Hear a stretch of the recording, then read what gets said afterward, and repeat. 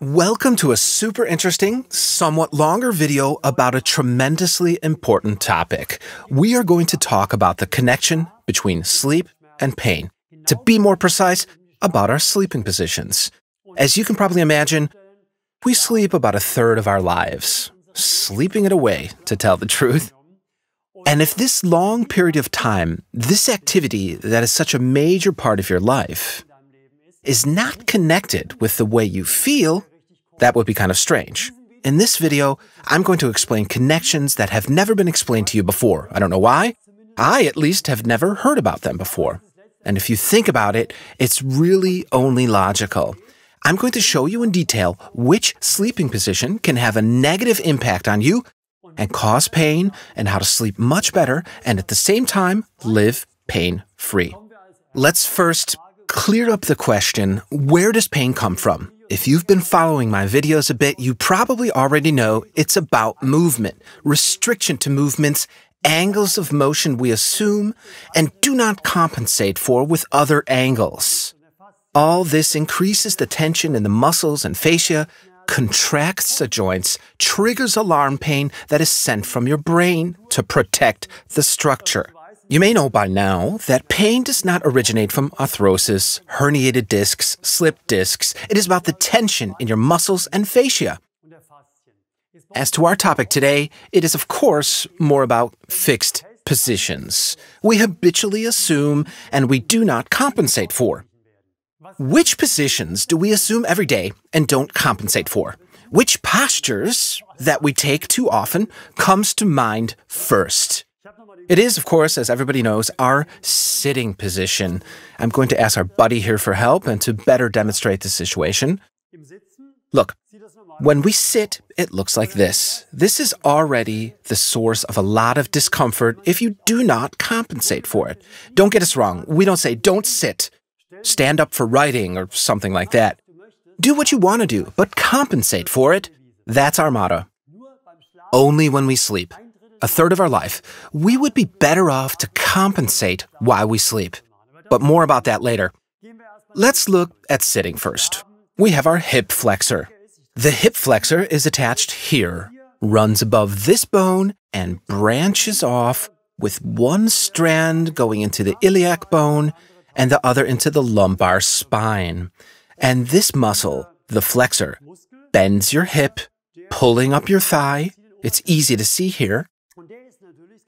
The leg hangs down, so the point is far below. Here, the point is much higher, and that means the muscle and the fascia and everything that hangs in between here is much shorter than when we're standing up. And if we don't compensate for this and sit too much, some studies say 8 to 9 hours, up to 11 hours, so about 8 hours for sure. So again, if we don't compensate and stand up again, then there will be a pull on our lumbar spine and more of a hollow back will develop. Hyperlordosis, too much of a pull resulting in slip discs and such. And at the same time, your pelvis will be tilting this way. And that again is the same as an overpronounced hollow back. All of that pushes things into a negative direction. So the results are back pain, hip problems due to too much tension there, and that, in the middle of your body alone, is already a permanent source of all evil, yeah? of all the pain. But that, unfortunately, is not the end of the story. Let's have a second look at the knee joints. Most of the time we sit, they're bent at a 90 degree angle, give or take. Now we have this thick calf muscle that runs from down here to the Achilles tendon. Here you have the muscle, and it runs up to the back to the condyle. That's the name for this outward turning bone. When we sit, it is noticeably shorter than when we stand. What does that mean? Sitting shortens the calf muscle, resulting in pain there. That causes those cramps in your calves at night. And here on the Achilles tendon, it creates too much tension, and so it becomes irritated, inflamed, permanently injured. Your typical Achilles problems, torn tendons, all those bad things. And at the same time, And because the calf muscle runs above the knee joint, this muscle, on account of being too short, pulls the upper thigh towards the calf, and what lies in between those two? The meniscus and the knee joint with its cartilage lining. And that leads to arthrosis, and, as I said before, to pain around the knee joint. And further down, this shortened calf muscle leads or might lead to problems in your foot joint, arthrosis, all those unpleasant issues. Let's look at the upper body. Here we have our arms. What do we typically do with our arms in our daily lives? Whether we're writing, giving somebody a massage, washing the dishes, sewing, typing on a keyboard, where do we have our arms and our hands? In front of our upper body. At about this angle, no matter what we do, they are normally here with the exceptions of activities where you have to reach behind. But who does that really? So, what happens if your arms are always in front of your body at these angles? Here we have the big chest muscle. If your arms are always like this, your arm flexor, just like your hip flexor, becomes shorter and shorter and more and more inflexible. All this increasing pull forward leads to pain in the thoracic spine. This burning sensation between your shoulder blades, a pain that simply comes from too much strain because everything in the front is too short, the pull goes forward, and that overstrains your back, your thoracic spine, and the burning starts. These things are connected.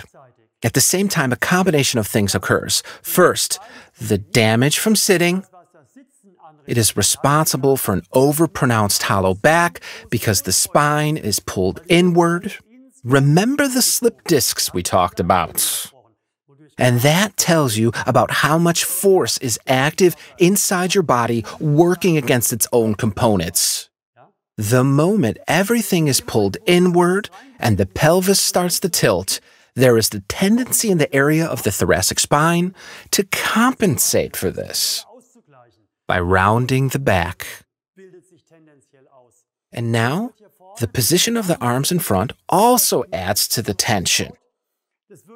It not only goes like this, but also like this, because the arms always rotate inward. Nobody writes like this, rotating outwards. You always rotate inwards, not outwards. So we have a hollow back, a round back, and we also have this posture, and if your neck were straight now, where would you look having a rounded back? You would look downward, but you want to look straight ahead, into the camera, so to speak. So what do I do? I hold my head like this, and what I'm showing you is a typical posture of the elderly. With age, people shrink, bent over more, and at a certain point, they need a walker, shuffling along in small steps, and that's a sad thing to see. We have to educate people about this so it won't happen again or less often. Walking like this in the street and everybody goes, well, those people are old, that's the way it is, it's their age. This is so not true. Don't believe it. That's the result of 20 or 30 years of incorrect habits, manifested in the positions I just explained that have not been compensated for. So, we talked about how sitting and what we do with our arms when we sit or even when we stand is the source of almost all the pain that you get. I could go on with pain in the elbows, the wrist, everything is connected to this. But let's not go overboard here. I just want to explain the overall situation in our body. So that means we have pain all over thanks to this position with our arms in the front Let's take away our buddy here. Thank you for the help. And turn to our typical sleeping position. What you see here, and you will agree, I guess, is uh, the most common sleeping position. The first question that might pop up could be why do most people sleep like this? Because they're used to it. And why did they get used to it in the first place? Through their sitting habits, exactly what we explained a minute ago. And if these shortened muscles and increased tensions that happen when you sit with your arms in the front, if this posture becomes second nature to your body, your body feels well in this position, at least if it's not under load, in your sleep, that is. Because initially, your back and your shoulders are pain free in this position. Only later, after things have deteriorated, you have pain in your sleep, even, but that's a level that's still far away. Should you be one of those who have reached this level, it's high time to follow and apply what I'm telling you here in this video. This means we sleep like this because this is the position our body got used to. Let's have a closer look at this. We have this angle in the hip joint. This position is still rather unproblematic. I know patients that assume an embryo position with their knees pulled up. Doesn't work here, it's jammed, but you know what I mean. I'll try with one leg and you could see this excessive angle. There are people who switch sides in their sleep with their knees pulled up almost to the chests because the muscles here in this area are too short. Your body pulls up the legs into a position where there's no strain, where there's no tension. So you pamper your shortened muscles. Anyone that sleeps like this, I mean. So now the knees, they are sometimes bent more than 90 degrees. Remember, it's 90 degrees when we sit. That too is more worse than better. Then in this side position, what happens to our arms? You know how it is when you sleep. You have one arm tucked in, sometimes even resting your head on it, bringing the arms even closer to your chest, as if we don't have enough of that during our workday. So, these positions are even worse. And now, and this is just simple biomath, if you will. So let's add up one and one. We sit eight to 10 hours a day, if that's enough. Some, I'm sure, sit even longer. Then we lie down a third of our lives. That's eight hours per day. Let's knock off the time we might lie down in a different position, but for seven hours, we lie like this. And all of that adds up. Now, you could say, okay, Roland, you always tell us we can do what we want to do, but make sure to compensate for it. And here I have to say, we're approaching a limit. I mean, it's almost a miracle that thanks to the 27 stretching exercises that I have developed that we can compensate for so much of what happens during the day. But you can imagine if you also sleep in such an extreme position, at a certain point, you are way past the 15 minute exercise mark, and it becomes increasingly difficult, even if you're very efficient, to compensate for all of that. We would have to do even more exercises every day. So it's a lot smarter thinking, okay, if I understood the principle correctly, the better approach would be to apply this knowledge, take my sleeping position, and retrain it. The operational word here is retrain, because you are going to have, for at least two to three weeks, some tough nights. Yes, you're going to sleep, but you'll wake up sore all over and so on, because your body is in the process of retraining. How can we assume a different position to retrain our body? Now, a simple idea enters the picture. If during the day we sit or stand, gravity works on us. What does gravity do? It wants to push us down, making us smaller, because this is the direction gravity works in.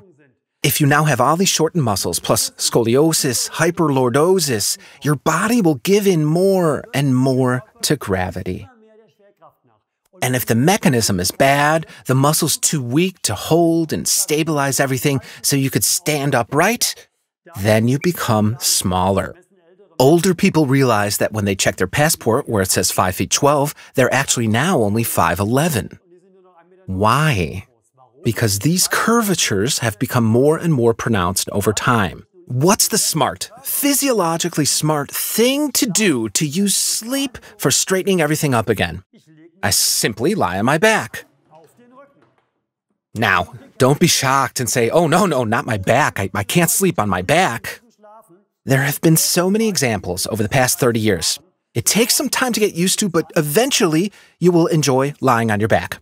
Please read the comment section of our sleep videos, and you'll find many people who say, The first couple of nights it was new and I had a lot of discomfort, but now I couldn't do without it. And now, please follow this one idea follow the logic. If, during the day and through gravity, we develop a more and more pronounced curvature, what can be better for eight hours? A third of my life, that is, and on top of some restful sleep, then straightening out my body. That means I lie down like this. Let's look at the situation from the feet to the head. So there's a trick you could use to loosen up your calves. Use your blanket. Put your feet on it.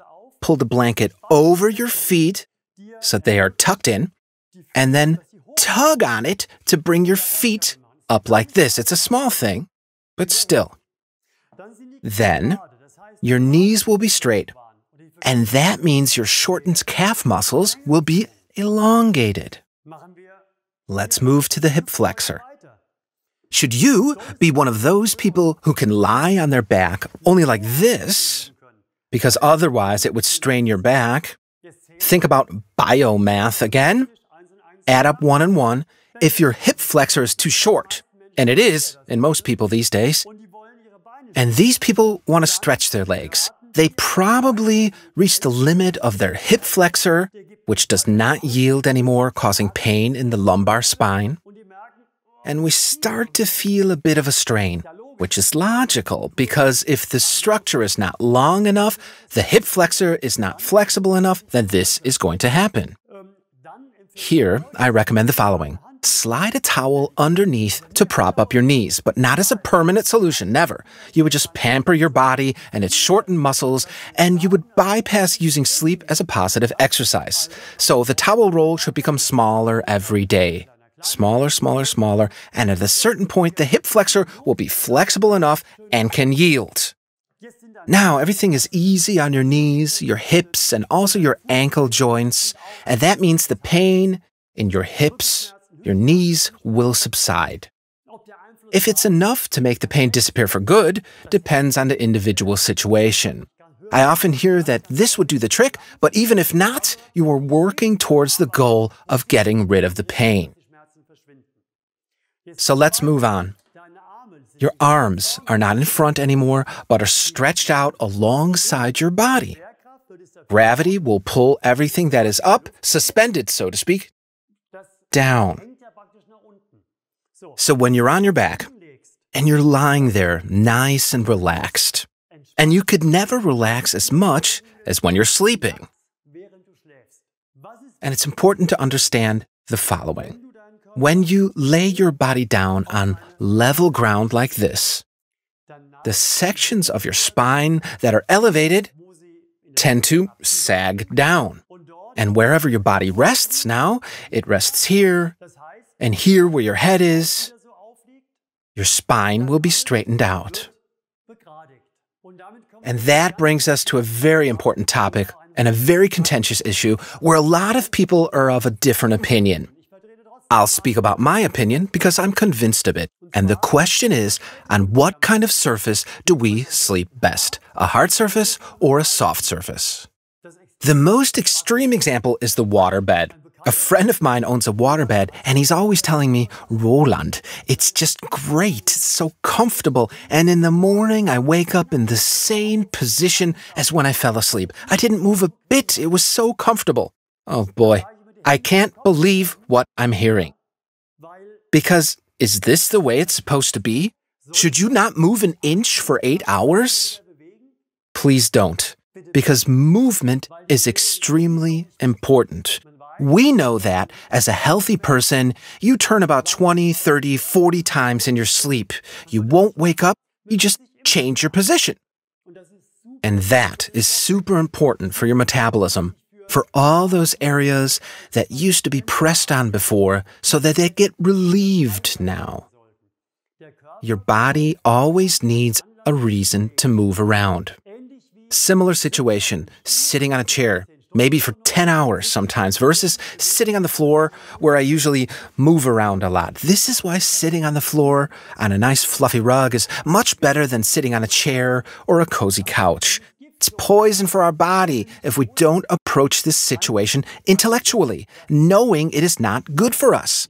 So, I'm speaking in favor of a harder mattress. The harder, the better. Real hard with a thin blanket which is still thick enough to cushion your bones. That, in my book, is the optimum. And maybe you feel the same way. The softer the surface is and gives in, the more you pamper your body with its shortened muscles. Yes, you might feel good, but in the long run, it is a disservice, leading to a dead end of ever more shortened muscles. And it is only on a really hard surface that all those positive stretching effects, the compensating impact of gravity, can be utilized without spending any more additional time on it. So, you have some options to pick from. Option one you allow your sleep to give in to your body's shortened muscles and risk even higher tensions, and as a consequence, end up in a painful situation. Or you use the same amount of time to make yourself more fit, flexible, pain free, relaxed in all those tissues. And another bone of contention I want to clear up in the way that I see it pillow, yes or no? Neck roll, yes or no? For heaven's sake, no. Think about it. If you stand like this, how can a neck roll help you? At first glance, maybe. Because you play into the shortened muscles of your neck. Same situation with the pillow. Less so, but still bad. The best thing is to lose the pillow. Slowly lose the habit like you did with the towel roll under your knees. Be sensible. Start with a normal pillow. Take a smaller one. Every day a little smaller, thinner, so you always have a change. Understand that your sleep is a way out of this situation of shortened muscles. It helps to free you up, make you more flexible so you wake up in the morning without back pain or with less pain or no pain at all because you have worked a lot on the problem. The same holds true for your Achilles tendons, your knee pain, pain in your hips, for pain in the thoracic spine, for the pain in your shoulders and your neck. Is this really a choice? To not do it like this? I hope what we have talked about has made sense to you. It would be great if you could share this video as often as you can. Children should get used to sleeping like this right from day one so they won't have to retrain. If you're older, with an already overextended neck, it is important to do exercise to get things somewhat straight again before you could sleep like this. However, if you lie on your back, your body will change positions if it feels uncomfortable. And try a slow approach to this without any pressure or stress. Lie on your back and fall asleep. If you can fall asleep, try for a while and then turn into your position of habit. Maybe you won't pull your knees up all the way, but a little less Go to all the places I warned you about and go to the limit of this movement. Find a point where it is not stressful for you to fall asleep. You may wake up and realize, oh, I'm back in the bad position again. But please, no stress. We want to get rid of the tension and stress. Just think, okay, rolling back onto my back. So, back on your back, and you're asleep soon after, anyways. Just do this consistently without feeling pressured or stressed. That is important. We want to get rid of this. And please don't be stressed out if your body tells you it doesn't want to go into this back position right now. And since you know all about the drawback of the side position, left or right, then lie on your belly. This position, it's also great because your legs are pulled straight so that the hip flexor can be relaxed and it gets stretched out in your sleep. If it is too difficult for you on your belly, slide a folded towel underneath your belly, but only until you can lie flat on your belly. The belly position is perfect and it has one advantage. You can turn your head either way, left, right, and this way you can also relax the muscles that turn your head. So go deliberately onto the back or belly position. And should you wake up, don't be stressed out. Find your back or belly position again. Should be easy to handle.